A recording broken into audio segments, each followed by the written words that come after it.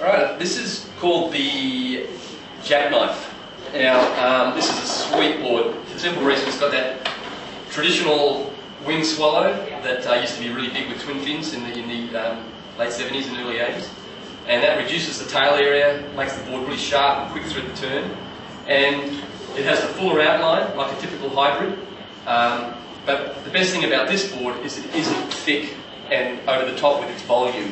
What that means, means is, is you get this high performance foil or sensitivity in the board, just like your normal high performance board. So it's got the rocker, that's the curve in the bottom, as well as the thin uh, volume, and not too thin, but thin enough for the board to be sensitive.